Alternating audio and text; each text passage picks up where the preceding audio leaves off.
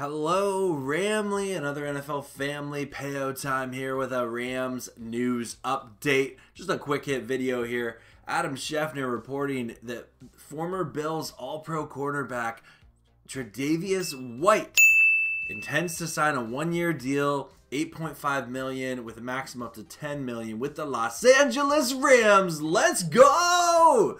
This is so exciting. Tre'Davious White, he's 29 years young.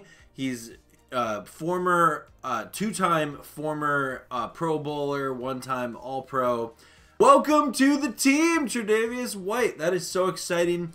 Love the veteran approach the Rams are taking to their secondary this offseason.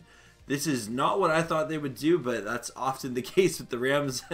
but uh, if we take a look here, the we the Rams signed Kam Curl to play safety.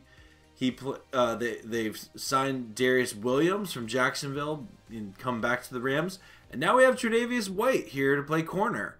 So, really curious how this plays out. Let me know your thoughts on this signing.